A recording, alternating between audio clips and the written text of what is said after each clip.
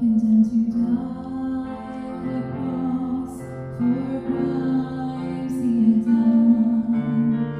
He was guilty, everyone could see,